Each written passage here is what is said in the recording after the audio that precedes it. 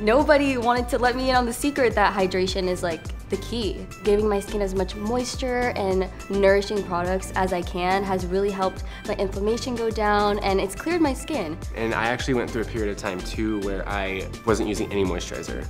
Hydration is key to like kind of keep your acne at bay.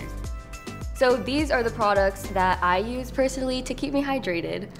Awesome. So let's- going into the first one, it's a redness relief essence from Dermalogica. This really just softens your skin. Um, I just tap it on my face like this instead of rubbing it. I feel like this is gone already. Yeah, it just visibly reduces my redness and you should have seen me the first time. I thought it was like a magic trick or something. Yeah, so what's your, what's the next step? So this is my go-to product for restoring my moisture barrier. It's the UltraCalming Serum Concentrate. This helps like calm everything down and Okay. it makes my skin feel like skin again.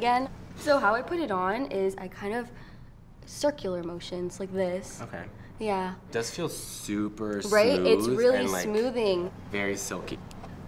So this product is the Elemis Superfood Kefir Tea Mist. It has so many superfoods in it and it's a really fine mist. And I even throw this in my purse, honestly, and I bring it with me because you know fall weather can be so cold and so Right. dry. And when I'm feeling dull, this is like a little pick-me-up. I just throw it in my purse and then, you I need you to, I need you to spray some on my face. Okay, okay. Ready? Close your eyes and your mouth. Okay. I love it. Do you it. Oh feel oh my it? God, Do you smell smells it? so oh my gosh. amazing. Okay, wait. I need some.